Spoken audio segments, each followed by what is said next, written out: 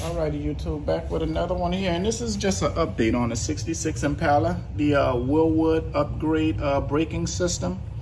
This car was all four drums, and as you can see here, went QA1s for the suspension, got coilovers on the front, and uh, for the back here, we also have disc brakes. Now, when I bought this car, it did come with an e-braking system, but uh, went and got some advice from my local mechanic, and he told me, uh, living here in Florida, e-braking systems are not really a big deal, I guess, because we don't have hills where we're parking cars where they're kind of at an angle. Uh, but uh, because I bought the car this way, I, I said I would actually, uh, you know, reinstall the brake e-braking system, kind of just run new lines. That's how it came, and you know, that's how I want to keep it. I do plan to make other changes to the car. But uh, as a backup, I told myself, you know, this would be a good deal, you know, just to keep the e-brakes. And as you can see here, I got it ran. And what I did, it's just pretty much a cable that runs through the frame.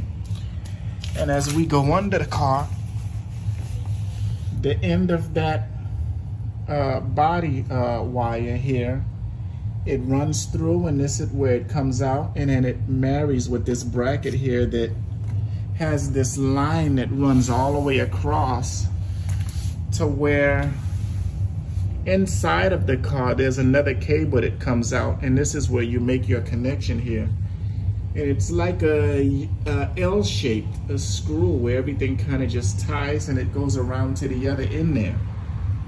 It's a little on the tight side and the good thing about this that it is adjustable so I'm gonna readjust that a little uh, but yeah, this is it, the e-braking system.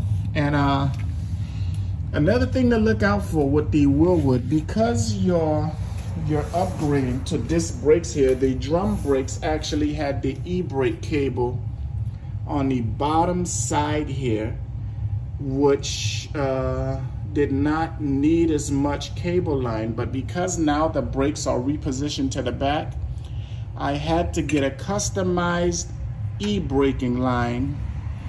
And uh because the uh, original one I ordered it was not long enough. It was off by four inches. So I had to uh, just do some research and I called the company.